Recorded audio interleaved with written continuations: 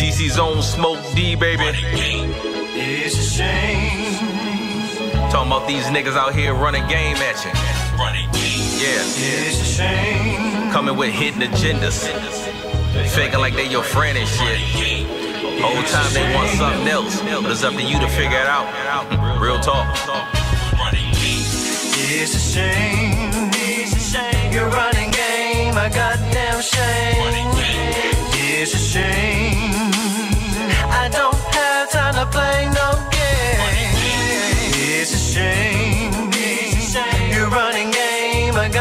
no shame, ain't no shame.